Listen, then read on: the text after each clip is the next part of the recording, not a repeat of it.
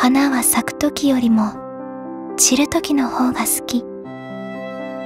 散る花びらそれぞれに物語があるから。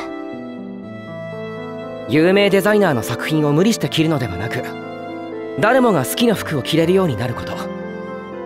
それが僕の一番大切な使命だよ。